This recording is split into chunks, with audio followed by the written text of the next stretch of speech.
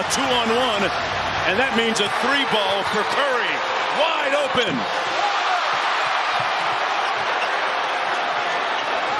Warriors with another opportunity. It's Poole. Inside Thompson with the midi. Got it. Here they come, down by three. The Warriors.